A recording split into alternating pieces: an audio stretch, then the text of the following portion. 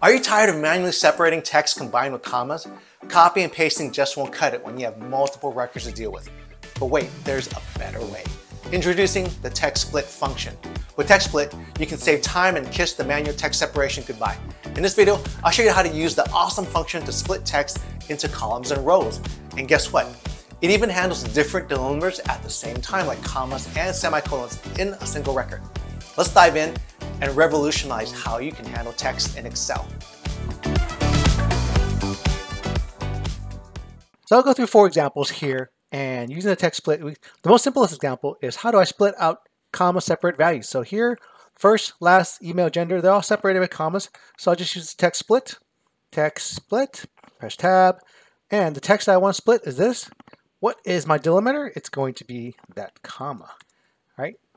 The other the other arguments are, let me go back. The other arguments are optional. They're in square brackets, so I don't need them. Close the parentheses, press enter. You can see it's separated out. Let me drag the fill handle down here, and you can see they've, they've all been split. Let's see if I can auto fit this. Double click, that auto fits. There we split out everything. Now that's the first example. So let's go into my row tab here. So how do we split this into rows?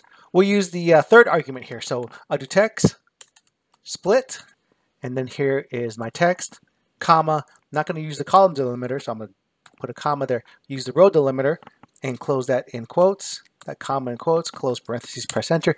And you'll notice it only gives me the first one there. And if I try to go here and drag and fill it down, it's going to have a spill error. So I don't want that. Delete that. One option that we can do is we can transpose this and do it that way. So, so I'm going to do is I'm going to select my values here, Control C to copy, and then over here I will paste transpose, and it's going to transpose it onto that first row. So I transposed it. You can see it goes all the way over to AF here. And now what we can do is we can do our text split. Text split. Here's my text here, comma. I don't want a column delimiter. Put my comma in quotes close parentheses, press enter, and now I can just drag the fill handle all the way to AF. And I've got my first name, last name, email, and gender, control arrow. And all I need to do is, uh, if I don't want these formulas here, control shift right arrow and control C to copy, alt ESV, just copy it as a value, press enter. And now these are values and I can delete everything else. Delete this row, and delete this, right click, delete. And now we've got our first, last email engine. I wouldn't really find this too useful, but you know, in cases where you want to do it in rows, this might be a way that you can do it.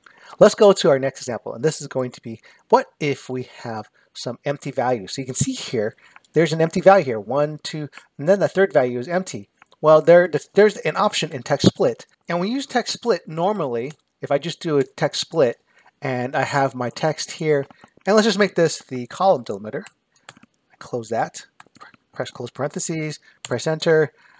That looks fine there because they've got my five words here. But if I drag the fill handle down here, you can see in other instances, let's take this one, that third value there is not there, it's blank. What if we just wanted to ignore that? Well, what we need to do is have another, use the other argument. We have our column delimiter, press comma, row delimiter, press comma, and here's where we're going to ignore the empty cell. So I'm going to click ignore.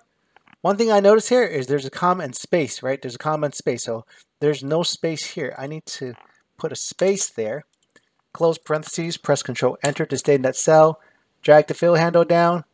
And now you can see that when there is an empty value separated by the commas, you can see that it has not included that empty cell there. It's just ignored it. And so that's the way we can do it if we want to ignore anything that's empty. Let's go to our date example. So we have a date here. Maybe you want to split it out by month, day, and year. One way we can do it is to use text to columns. Alt AE is the keyboard shortcut. And we can go click next. And it's separated by the delimiter, which is a slash, forward slash. Click next.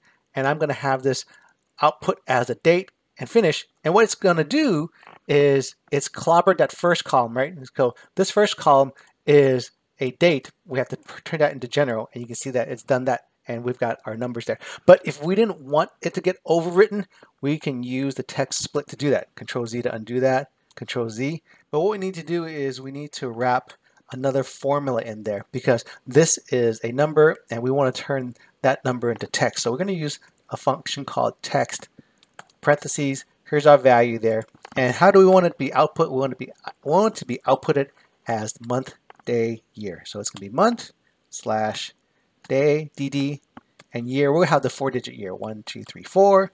Close parentheses. I mean, close uh, quotes, close parentheses.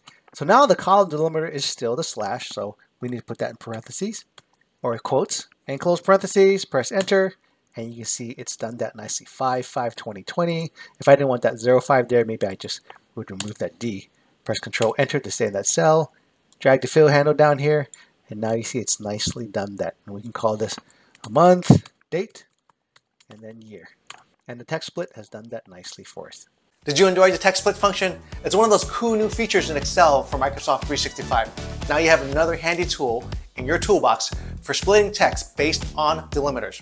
Exciting stuff. Don't forget to click the banner for more awesome videos like this one. Catch you later.